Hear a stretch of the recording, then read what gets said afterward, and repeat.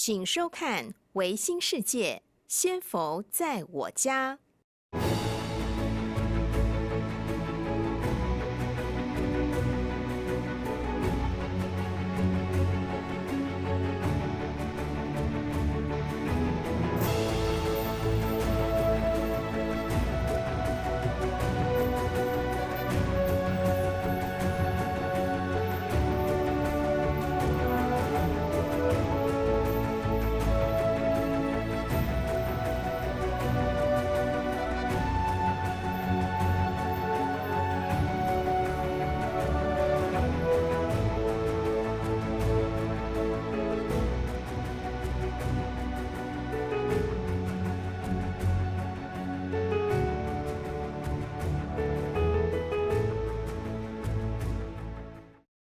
各位观众，大家好，欢迎收看维新电视《仙佛在我家》。宗主慧圆禅师开示，学习易经风水，知一切法而不被一切法所服，才能日日是好日。在易经大学研修中华民族智慧易经风水，最大的不同就是我们结合了宗教，并且拥有许多的妙法。今天我们同样与王禅老祖师尊以及仙佛圣神有约，聆听同修来宾的人生经验，一起来感受唯心世界结合易经、风水与宗教的奥妙。一起来欢迎今天的来宾。各位观众好，我是易经大学师训班正奇班第六届的学员江张淑珠。江张淑珠师姐您好，很高兴我们今天呢要来一起分享，给观众朋友们了解您自己的个人宗教信仰历程，还有进入了维新圣教一些学习的过程。我以前是呃跟大甲妈祖哈结缘比较深，嗯，因为我妈妈哎在我们小的时候，她就跟啊大甲妈祖哦一起进香到北港进香啊新港进香啊，那我就哎结婚以后。我也跟着他哈，诶，走过几次哈，呃，进香，啊，跟大甲妈祖坐七那个坐车子七天，啊，后来，诶，跟民国，呃，好像是民国八十八年，啊，跟师傅结缘以后，啊，慢慢慢慢的就往我们师傅这边，啊，不过大甲妈祖那边我也是每年都有。两三次到五次到那边去跟他，也让那感恩他的那个以前哈，呃，保护佑我们哈，妈妈哈，娘家哈，一家大小平安这样。嗯，是。啊，后来呢，在民国八十，呃，八十七年以前，啊，有一位师姐，啊，她我在跟她谈天的时候，她在跟我说，哎，我常常跟我先生骑摩托车到仙佛寺。好，那时候没有，他不知道仙佛，他说到一个寺庙去，那个寺庙，哦，那个里面风景哦蛮不错的了哈。我说啊，那在哪里？你带我去，这样，啊，他就说好了，那我们就改天去。啊，那天我去的时候哈，跟他师姐就两个人，我开车呃跟他一起去，啊，进入那个庙门，我们拜拜以后出来哈，哎，怎么听到鞭炮声？鞭炮声，哎，哦，放鞭炮的声音，有活动是吗？哎，不知道啊，那时候我们的那个宗教还没有很大嘛，对不对啊？说还是哎，怎么有鞭炮声啊？那我就逛一逛啊，然后就走那个我们往那个呃维新维新园那里过去，在半路上碰到我们的师傅，啊，师傅就被跟一些师兄师姐大家在一起。师傅一看到我们，他说：“哎呦，阿弥陀佛，你好。”我说：“哦，怎么这个师傅怎么那么慈悲？哈，一看到人呢就那么慈悲，就跟你先跟你打招呼，不是我们先跟师傅打招呼，那就跟师傅结下一面之缘。那就我们就逛一逛就回来了。啊，后来是我进入到我们中门的时候，我才晓得说那天刚好是我们道上在上梁的日子，在打在放鞭炮，这样。啊，后来呢，在这不过了。”过一年，过了过年以后，三月的时候，那个又有一位师姐，她跟我讲说，哎，那个哈，南头有一位寺庙哈，他们在诶做法会，他们缺少义工，要收捕捉的那个诶东西哈，没有人，啊，我们去一大家一起去帮忙好不好？啊，那我就说，这反正孩子都大了嘛，没事情做就跟他们一起去。哎，去的时候师傅也很慈悲，我说看啊啊。原来就是这个地方了，好啊，然后那师傅很慈悲啊，他这个每跟每个人加持啊，好家他一看到他哈，师傅就很高兴。啊，你如果是那是后来我们以后才知道，你如果有什么不好的运气什么，他师傅都会帮你拍头拍三下，或者把在胸部再给你打三下，这样就帮你解印。啊，我们不懂啊，说啊师傅在加持，我们就让他加持就好。啊，那那一天我们就到晚上哈，然后七八点的时候把普州那时候呃净土门哈还没有还没有盖，就打打那个。诶，铁铁筋地地板，啊，所以普座放在上面都会摇晃，啊，那我就帮他们收好以后，我就回来了嘛，啊，回来三月回来的时候也没事，没什么，也没有什么事情，就啊，他就都一样过日子。后来到六月的时候，民国八十八年九二一大地震那一年，对，好，然后就那个师姐又说，哎，我们那个有人在教易经，我们去学易经好不好？啊，我就说，然后什么时候？他说在晚上。然后晚上还可以的哈啊，我们就大家一起师诶师姐一共有七个人，啊一起去，一起去报名。啊报名一去看说，哎啊怎么是那个年轻的法师啊啊啊那个原来是元尊法师，他第一次来诶彰化授课，那我们就跟他结缘，啊结缘以后后来。过了下个礼拜哈，过两三个礼拜，师傅就亲自到先修班来跟我们讲解哦，我们宗门的事情了哈，还有帮我们说有一个正要有一个正确的宗教观念这样的哈，介绍我们的宗门这样，啊，那就说浑浑沌沌就跟着人家上课就跟人家提着书包上课嘛，啊，下课就书包放着就没不管他了嘛，对不对？啊，后来到九二一大地震的时候，以前。大大地震以前师傅说，诶，山上要法会，好，啊那时候我们初级班的什么不懂嘛，他说，诶，要在那个五百罗汉那里要念佛，是，嘿，啊我们不知道，啊那时候师傅说什么什么堂上供什么白菊花什么一大堆，我们都不懂，我们就说，啊那哪一天要集合，哪一天晚上集合要念佛，啊就跟着上上去念佛，绕绕佛，在那五百罗汉那边绕佛，啊绕佛回来以后就发生主要一大地震嘛。啊，师傅就上课的时候，因为每年每个月有一个共修日嘛，第四个礼拜，我们去的时候，师傅就跟我讲说：“啊，你们这些弟子啊，啊，大家都很平安，我很高兴。因为九二一大地震的时候哈，那时候一共有几千个学员，不多了，就几几千个而已了。我都去帮你们看一看，都帮你们，好，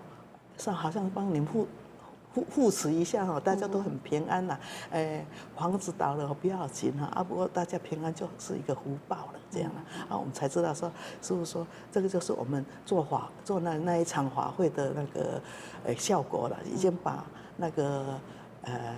伤害降到最低了啦，就这样啊，跟师傅那时候就跟我们的宗门就比较有信心了，他就很积极，比较积极的在学易经了。是，啊这个经过到。现在已经哦二十年整了啦。那您自己本身在易经的这个学习的这个部分，你有没有一些特别深刻的感受？我因为我说我们本宗门哈老祖的照顾，还有师傅的慈悲哈，很多的印证方法。呃，九二一大地震没过多久，啊，我们那个千佛堂就那个地那个天花板都掉下来嘛。嗯。啊，那时候我去做义工，刚好碰到师傅。哦我就跟师傅讲，师傅，我这个哈左肩膀这后面这个睾王哈，那台语叫睾王哈，很痛很痛啊，都治不好，我都用那个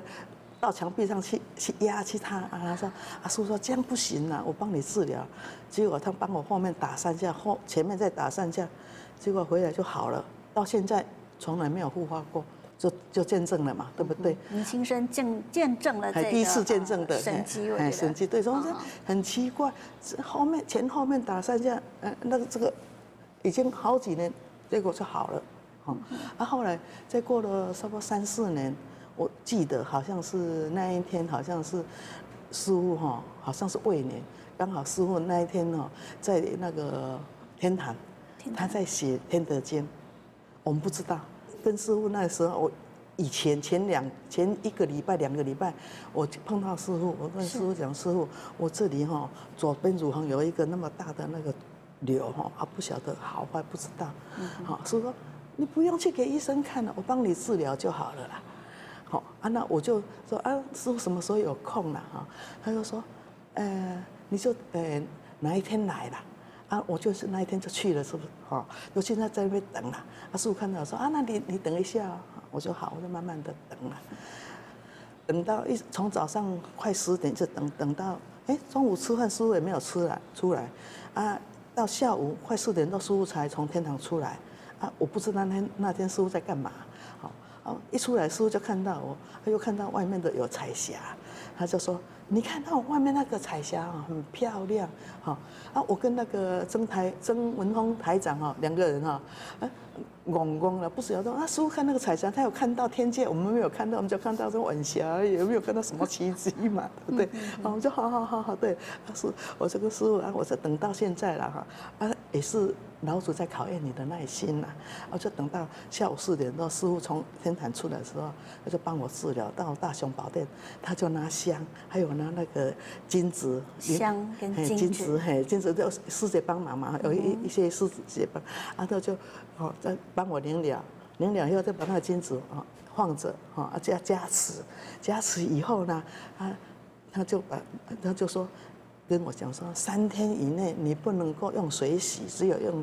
毛巾擦就好了。是，好好啊，那我我回去照师傅这样讲。哦，第一次你就等的最久嘛，第二次就慢慢的减少时时间的，慢慢慢到第三次师傅到第三次的时候，你不用来了，你好了，啊，就到现在也没有复发。嗯，因为我每天在洗澡的时候，我都会检查一下，哎，结果还好。是，哎，这个也是一个见证嘛。嗯哼，对不对？是的。啊，然后再有一次就是，呃，因为我要买新房子，啊，我在彰化买，啊，我儿子说你不要啦，你不要在那个，诶，彰化买房子，我们大家都在台中哦上班，你在台中附近买好了啦。啊，我就看了，啊，差不多四五年的房子，因为我们有学这个法，我们的占卦说你这个房子如不如法，不如法我们就不买嘛。是啊，就找不到，找了很久找不到，啊，我就那时候我还不会不怎么会解卦，我就占卦以后啊，就请师兄，我师兄就那时候已经进入我们的法门了，就请师兄那请那个延伸法师帮忙解卦，解了四五个四五四个卦都没有好如法的房子，哦，那也是慢慢的就忍耐了，啊，结果有一天那个延伸法师不晓得怎么样，可能胡住心灵了，他就说。哎，你买房子到现在还没没有？哦，我跟你讲好了啦，因为师傅说有跟我讲，我才敢介绍，要不然我不介绍房子给人家啦。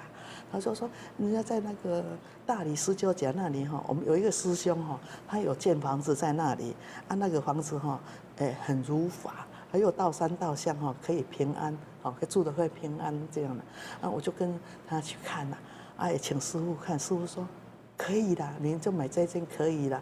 啊。我说，哎，不过师傅，官鬼慈是旺旺的，说没有动摇就是好房子了，官鬼旺就是那个房子建得很坚固了，啊，我就听说后就买下来了。嗯他买下来没有多久哈，好像是自己心神不宁还是怎样，有一天哦，差不多半年以后，有一天呢，楼上哦二楼，往一失神在呼呼手手呼呼，嘿，没有呼到，就跌下去了，跌到那个一楼下去了，那个。那个房子是三米九，啊，如果是那个转弯的梯子也有两米以上嘛，好跌下去了，哇，糟糕了，一定骨头断掉了，结果骨头没有断，就痛得很痛，就哀哀叫，啊，那时候就先我师兄跟我在家，啊，我师兄啊，赶快叫救护车了，我说不用了，不用了，好像骨头没有断了哈，不过就是很痛很痛哈，我那个痛实在受不了这样了，好啊，我说我忍耐一下，忍耐一下了，结果。那天我是我就师兄就用拖的帮一直拖拖拖我到楼上去，然后睡了。那隔天我是我师兄啊，那不要去给医生我说不用了，今天是共修日，因为我们每个礼每个月的第四个礼拜有共修嘛。我说我去找师傅就好了。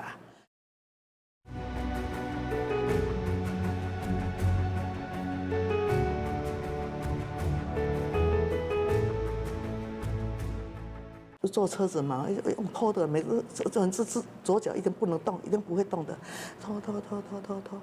啊，一直拖到千佛堂的时候也是不能动哦，我很痛很痛，啊，那时候应该应该请师傅加持，这个师傅很忙没有用，没有我就没有找师傅，啊就就想到说啊，那是十几年前有一位师姐哈，她的大拇指哈车祸断掉，从这边断掉，啊那个已经打石膏打好了，啊，她也是。刚好共修日，那也是我们第六届的学员，跟我也是彰化的学员，我跟他认识。他说他找师傅，我说你找师傅干嘛？他说他诶骨头断掉哈，请师傅哈开始有什么方法？因为他打石膏至少要两个月以上才会好了。啊，我们就跟他一起去找师傅了。那时候师傅要上课嘛，我就半路上跟师傅讲说：“师傅啊，他的骨头断掉，那怎么办呢？”他都说：“啊，这个很简单，你就用我们的易经的法。我们易经的法就是前三年，前前为天嘛，前三年啊，前三年就是三个三个爻都连在一起嘛。啊，你说你就一面上看电视或者坐着啊，你就一直念前三年，像一直给他给他化掉，给他化掉，化掉，前一直念前三年就会好了啦。”好啊，结果他不到三个星期，他就把石膏脱下来就好了啦。啊，刚好那天我就跟他师傅很忙，我没有这个小事情，哎，请师傅也不得什么哈，我就说想到这个话，我就坐在那里哈，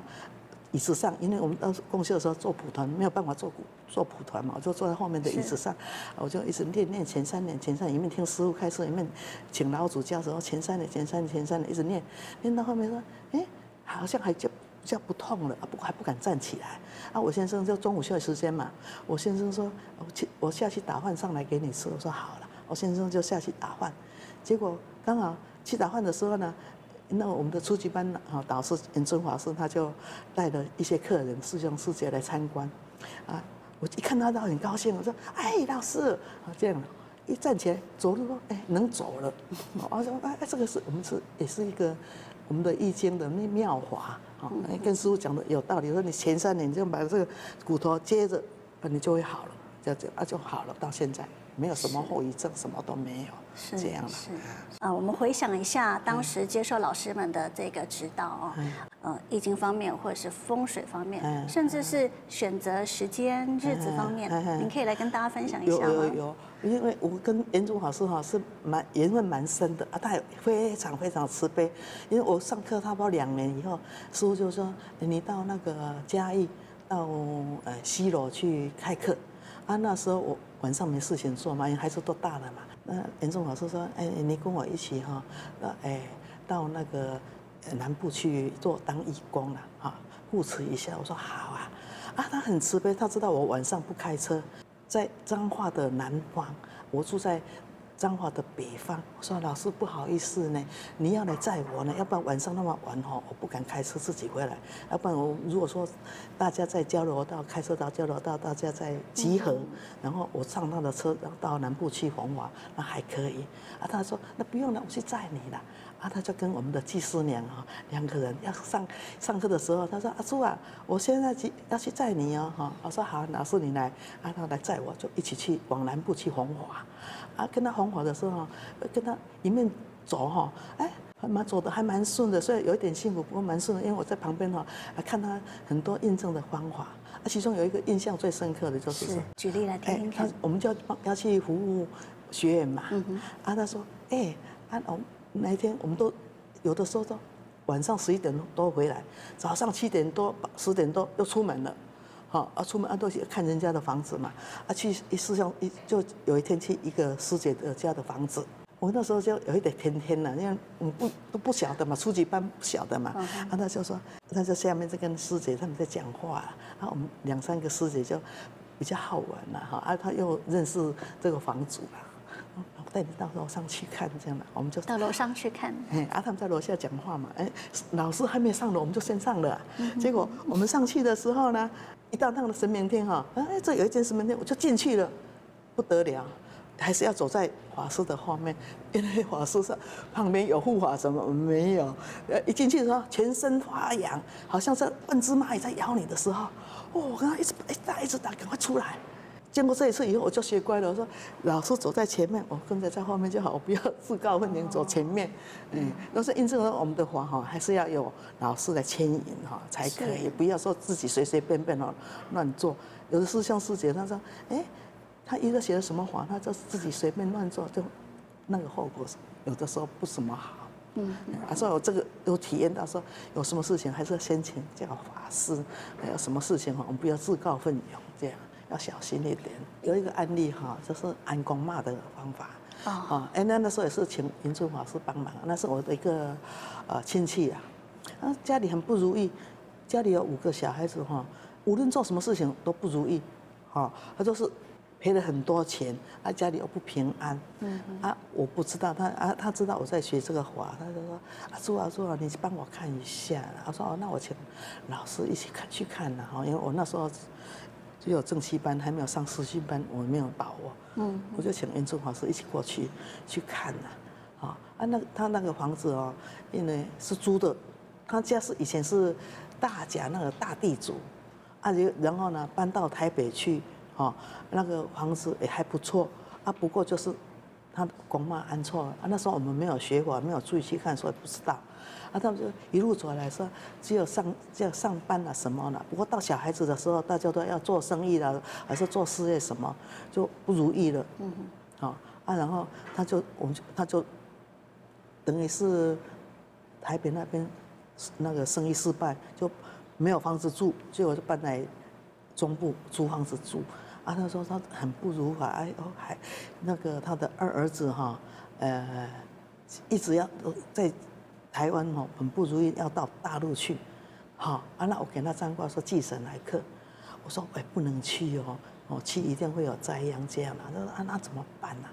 哦，他说阿叔啊，你就来帮我看看呐。啊，我就请文忠老师过去看呐。哎，去看的时候哈，文忠文忠老师说，哎，你这个公庙怎么这样了哈？都没有变呐。啊，原来他说日据时代，我我们那个受皇门皇民的教育教化哈很严重。他那公庙呢，以前是。我们把公庙放在后面，前面都是用什么天照大神、什么大神，那日本的那个仙火的那个名字，还是天皇的名字，我不知道，用那个名字，啊，后面才我们偷偷用我们的祖先的牌位这样，啊，这结果光光复以后，他就把那个前面那个那个牌拿上来，拿出拿拿掉了，不过他前面那个什么历代祖先的那个神位那个大牌，他没有放没有放进去，只有小牌。裸露在外面了，他没有正牌了。是，他说家里很不如意嘛。啊，严中华就说，哎，这样不行哦，你这个哈要赶快改，要上外面有一个，人讲无面无皮啦。嗯。因为无面无皮，你你就是对外没有没有正法，你出去子孙出去就没有贵人了，好啊，就子孙就不如意这样了。啊，他就严中华说就帮他看日子，说你这个哈国脉要重写啊，然后。我妈看嘛瓦解，你要有一个正面的牌位在上面，好啊，他又又调查说说他有一个弟弟哈，诶，那个自杀哈，啊往生，啊他就是给他这个，我帮他占过这个儿子，哦，这个儿子写给他一一因为男丁哈，大家都是要一个后事嘛，哦，多帮公嘛爱这个后事，而且引起了那个在杨氏的那个兄弟的儿子当他的后后代啦。啊，就这个，啊，这个所以就是很不安分，没有超度，没有帮他超度，哦，他也不知道要超度啊，他以前也没有那种华，对对不对？我来给人讲，哎，对他不知道那个华，他们也是很，啊，他们就是他们的，好，我那个亲戚的爸爸妈妈，还有他我亲戚，他们都很善良的人，啊，都常常在做功德，很慈，很很慈善的。不过就是你光嘛安掉，你都家来都没平安啦啦。啊，他我啊，他他就说，我这个给他当儿子了。啊，严正华说说，哎，你这个哈，他是不不幸往生的早逝的，你要帮他做法会，好啊，超度他，他才会平静。结果我就说帮他超度，就写刚好我们的那个水陆法会在做，哦，就赶快帮他超度，好，帮超度他的弟弟。哎，超度完说。他他那个写给他的那个儿子，他说他不去大陆了，我就呃逃过一劫了。他就说啊，阿朱啊，很感谢你哦，刚才我们有这个法，要不然他不知道怎么办这样啊，他就在台湾找一个工作哦，他家里就比较平安。啊，后来呢，就是他的孙子，因为他们上几代都是慈善人家嘛，只不过是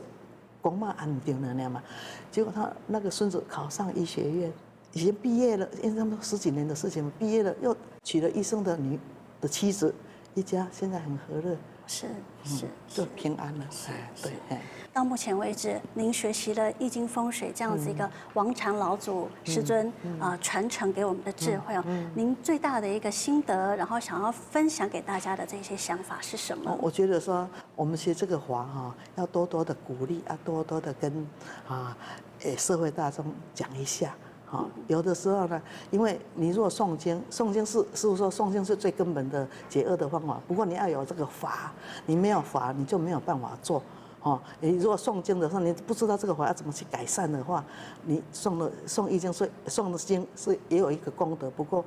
效果没有那么好，没有那么灵验。因为我们经过很多次的那个呃经验的时候呢，也是这样。所以我现在都说一直教人家说，你要知道法，哦，啊，尤其我们的妙法普传一定要买，哦，教他说，你如果说在家里哈给囡仔收经，你收了五次。你一盖两百块，你这已经那个妙法普传，你就值回票价。哎，里面又有很多东西，是不是？有我们的安神位啦，哈，安光骂啦，还有小孩子解厄的方法、车祸的处理方法，要怎样祝寿，怎样向神明祝寿，很多很多的妙法。怎么样拜神等等。哎，对对对，都可以呀。所以我们都觉得说，哎，这个我们要多多鼓励。哦，建议大家对对对，最好是来入我们的宗门啊！如果没有入我们宗门，又介绍上我们要有这个妙法普传。妙法普传，嗯，好的，好的，太好了。今天非常感谢老师的分享，谢谢您，谢谢阿弥陀佛。我们也非常感谢各位观众朋友们的收看，欢迎大家锁定每周四中午十二点钟收看《仙佛在我家》，祝福大家幸福平安。我们下周同一时间再会。